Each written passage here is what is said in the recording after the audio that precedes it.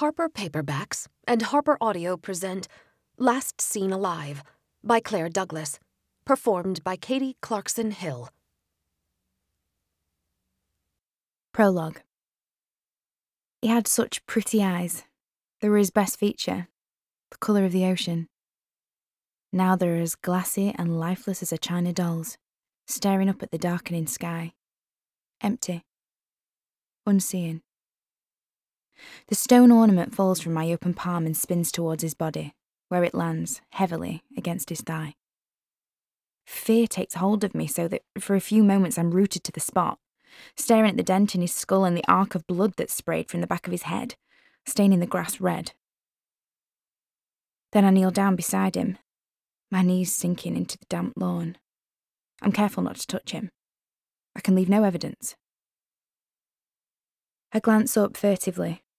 The building's over 200 feet away, the windows opaque, some with curtains hanging open, others with the blinds rolled up. Was anybody watching?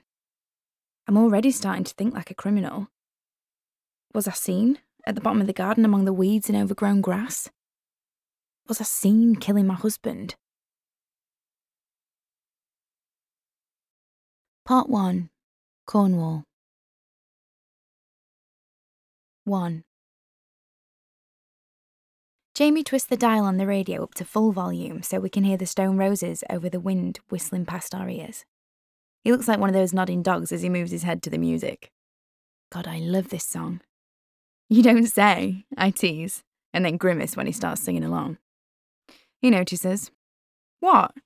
I was the lead singer in a band when I was 18. But he squeezes my thigh, a playful gesture that shows me he's not offended. You could have been our groupie. I'm tempted to remind him that he was with Hannah then. She would have been his groupie. But I don't want to dampen his mood. He seems happier than he's been in ages. I turn to appraise him, to admire his sharp jaw that curves into his long neck, the fine blonde hair just visible above the buttons of his polo shirt, and I feel a flicker of desire. I place my hand where his still rests lightly on my thigh, and we interlock our fingers. He catches my eye and smiles before his gaze snaps back to the empty lane that stretches ahead of us. I can't wait to see the house, I say. I wonder what it's going to be like. I hope it isn't some kind of dive. He raises an eyebrow. A dive? I doubt that. Didn't Philip Heywood describe it as. He puts on his telephone voice. An imposing seaside pile with panoramic views of the bay. Or some such. I laugh. I don't think so.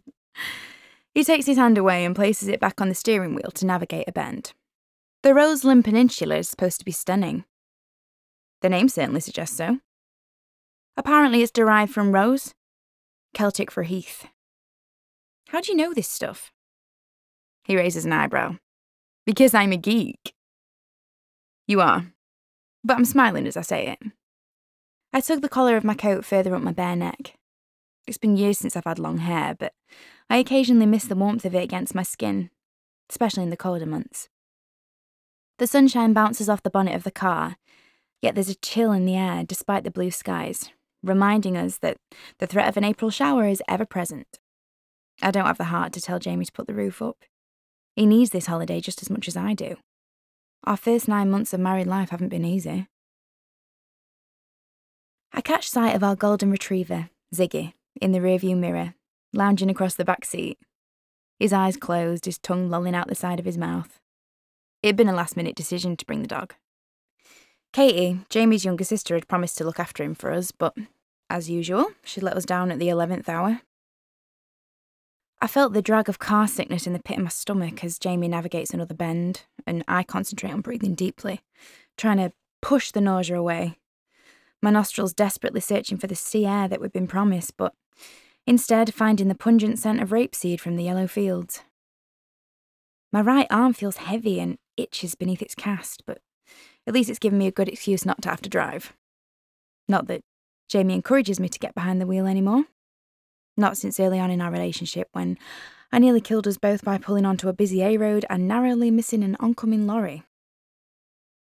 Eventually, a speck in the distance grows bigger, breaking up the monotonous country road. A tiny petrol station stands forlornly like a lost child amongst the wild foliage. That must be the one, I say, pointing at it in excitement, trying to remember the instructions that Philip Heywood had given me on the phone two days before. Jamie pulls into the forecourt and switches off the engine, and the world appears to fall quiet for a moment. It's a welcome silence after the constant din of loud music and buffeting wind. Too much noise has always made me feel stressed and on edge, but Jamie loves to play music as loud as he can get away with. He reaches over into the back seat and clips the lead onto Ziggy's collar. Do you want to go and get the key then, Libs? I'll fill her up as we're here. Then I'll take Ziggy over there so he can do his ablutions. He indicates a patch of unruly grass to the side of the shop. I agree, relieved to get out and stand on solid ground for a bit. The guy behind the counter is barely out of his teens. He stares at me with a nonplussed expression on his acne scarred face when I ask about the key to the hideaway. I don't know nothing about a key, he says while scratching a pimple on his neck. I'll get my manager. Name? Pardon? He tuts, not bothering to hide his annoyance. What's your name? Oh, Libby. Surname? Elliot. I mean, eh, Hall, Mrs. I'm so used to calling myself by my maiden name at work that I sometimes forget I'm now part of someone else's family. He slopes off to the back of the shop, his long arms swinging like an ape's, and disappears through a grey door. The shop's small, and shelves piled high with cans of tuna, beans, and plum tomatoes. I'm the only customer. I pick up some mints from the rack in front of me and scan the confectionery for something for Jamie. Something with coconut, his favourite. Then I watch out of the window as Jamie coaxes a reluctant Ziggy back into the car. Our Mini Cooper's the only vehicle on the forecourt. The guy doesn't re emerge, and I feel the fluttering of panic that this is all some elaborate con and there is no key or house by the sea. Then a buxom woman with a mop of dyed blonde hair barrels through the door, key dangling enticingly from her chubby fingers. Elizabeth Hall? she says, in a thick Cornish accent. I nod and she hands over the key, her face breaking into a smile. Aren't you lucky going to stay at the hideaway? Beautiful views. Not that I've ever stayed there myself. I didn't know they rented it out. I take the key gratefully. I don't know if they do usually, we're doing a house swap. Her eyes widen. A house swap? What a great idea. So they're staying in your house while you're in theirs? I push my debit card into the machine. Yes, although ours is a flat, in Bath.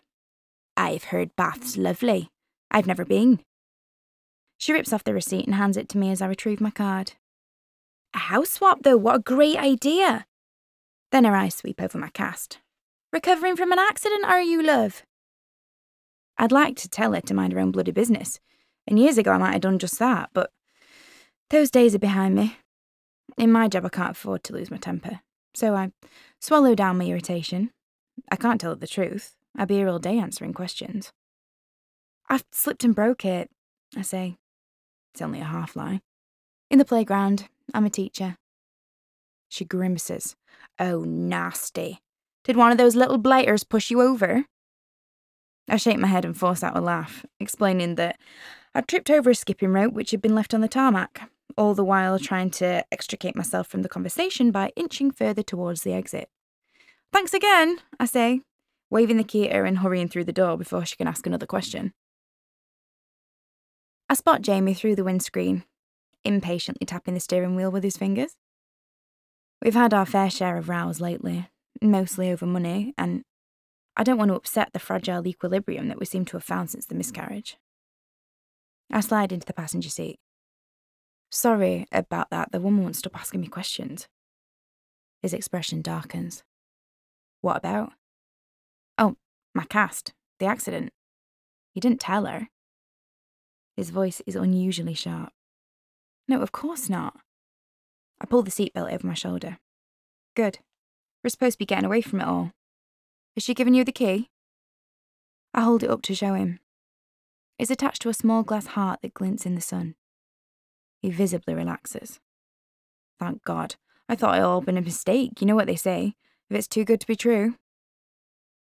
I lean over and kiss the side of his face where his jawline meets his ear his soft stubble grazing my lips. I love that he's excited about this, that he's regaining some of his former spark. That's what I'd loved about him when I first met him his enthusiasm for life. He's a pint half full kind of man, but being made redundant, setting up on his own, and constantly worrying about money is taking its toll. And I've noticed over the last few months that some of his brightness has started to fade like a tarnished coin. As we head down another narrow lane, thick hedgerows sprinkled with white blossom rearing up on either side, Jamie almost shouts, That must be it! His eagerness bringing out his slight West Country twang. He points towards a house on the other side of a T junction. I follow his finger. Surely he's mistaken. The house is huge, even grander than his mother's. That can't be it, I reply as Jamie veers off the road and onto the driveway, gravel crunching beneath the tyres just as the nasal voice of the sat nav informs us that we have reached our destination. The car draws to a halt, and Jamie switches the engine off. We sit and stare at the house in an awed silence, both of us taking in the detached rectangular building with a round turret at one end, all traditional smoky coloured stone and glass. A creeper grows halfway up the walls so it looks like a beard. Trees and bushes in varying shades of green envelop the house as if they're embracing it. Beyond the property is a stretch of clear blue ocean sparkling in the distance. The only sounds are the cheerful chirruping of birds and the faint growl of the sea. I can smell the salt on the breeze, mixed with a trace of horse manure.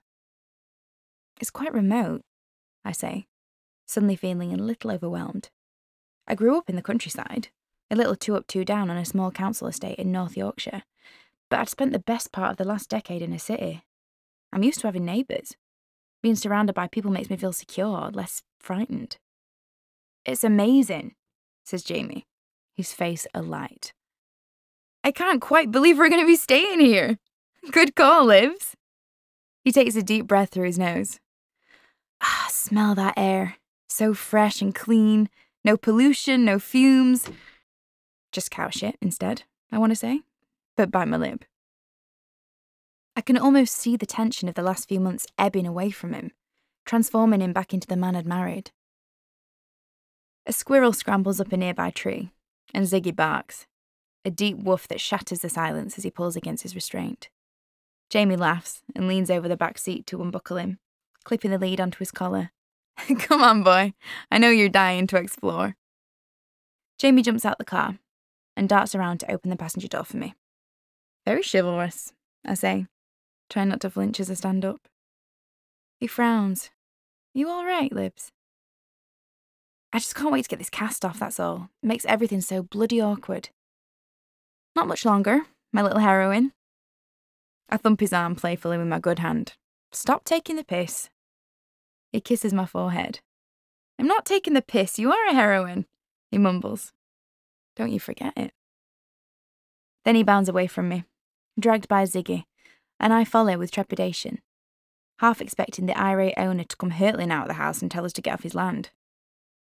Noticing my hesitation, Jamie beckons me to the door.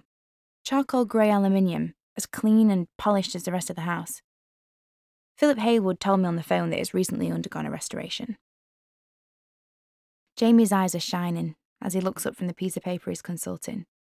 It's the right place, look, he says to reassure himself as much as me. He prods the paper with his finger, then indicates the slate sign with the words, The Hideaway, carved into its face.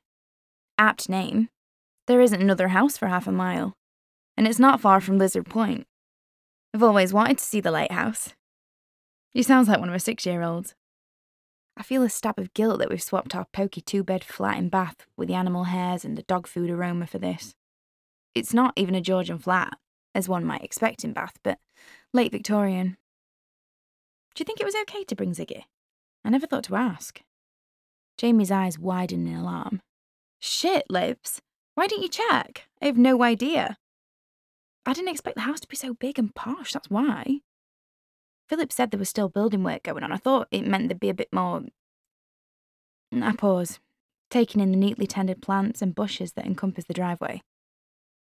Unfinished? My fears are confirmed as soon as we step over the threshold. It's definitely not the sort of place to bring a dog. Everything's so white the sofas, the rugs, the walls. I know we'll stain it somehow, with our messy ways and Ziggy's dirty paws. Apart from a pile of rubble near the tree in the far corner of the garden, there is little evidence that any building work has taken place. I take the lead from Jamie, too worried to let Ziggy go. We hope you enjoyed this preview. To continue listening to this audiobook on Google Play Books, use the link in the video description.